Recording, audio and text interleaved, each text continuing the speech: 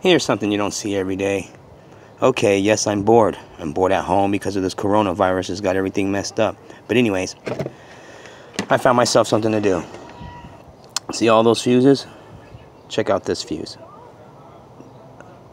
Look at that connection there. Bad connection in time. I went through all my fuses. I pulled one out by one and I scrubbed them like new. Each and every one of them. Relays didn't look too bad. And when, let me show you what I used. Use this bad boy.